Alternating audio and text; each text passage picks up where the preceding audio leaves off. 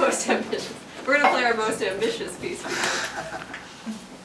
It is. I know, It's by Mary. Yeah. We've been playing music by Matt and myself and Mary all night. Pretty much equally, yeah. And also come back. I'll be here through Sunday night.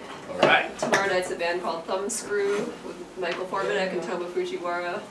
Yeah. Um, I'm doing my octet on Saturday and um, duos with Susan Alcorn and Weasel Walter on Sunday. Wow. All right, here we go. This one's called Forever Run Slow in Cold Water.